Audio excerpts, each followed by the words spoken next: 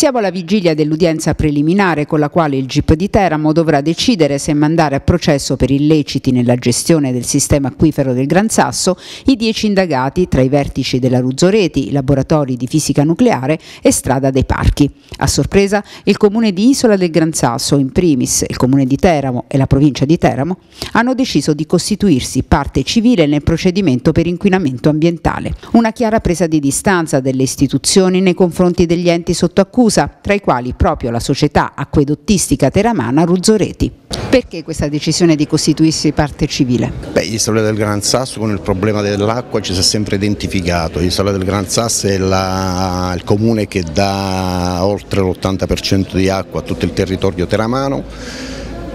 cioè, io dico sempre il problema che c'è solo il dubbio che l'acqua possa essere inquinata per noi è un danno d'immagine veramente enorme, noi dobbiamo diciamo, risollevarci un po', sviluppare per quanto riguarda le nostre, eh, le nostre risorse che era l'acqua, le bellezze naturali,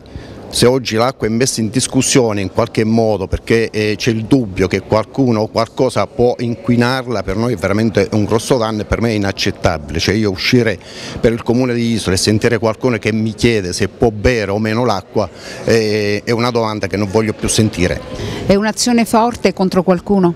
No, è un'azione per il territorio, per eh, i cittadini teramani a tutela del bene più prezioso che abbiamo, l'acqua, quindi il diritto alla salute, il diritto all'ambiente del nostro territorio, anche all'immagine di un territorio che purtroppo subisce da troppo tempo questa, questa vicenda che è irrisolta. E si tratta di un'iniziativa correttamente avviata dal Comune di Isola del Gran Sasso,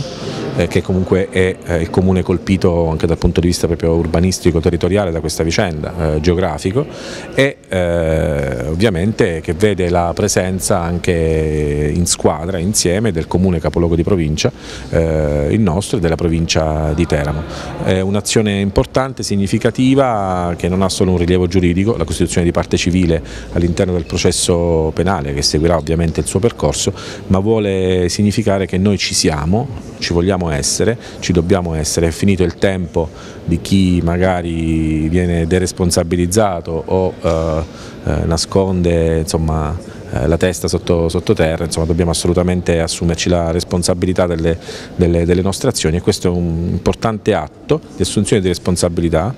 come ho detto insomma, un atto di coraggio sotto un certo aspetto, ma eh, sotto altri aspetti un atto dovuto perché lo dobbiamo ai nostri cittadini. In sintesi, per i sindaci e il presidente della provincia di Teramo, chi ha sbagliato dovrà pagare e risarcire il territorio. Tuttavia la Costituzione, come parte civile nel procedimento giudiziario per inquinamento ambientale, scava oggi un solco profondo tra istituzioni e enti coinvolti in questa inchiesta della Procura. Una distanza difficilmente recuperabile, soprattutto con la Ruzzoreti, anche se non ci sarà alcun rinvio a giudizio.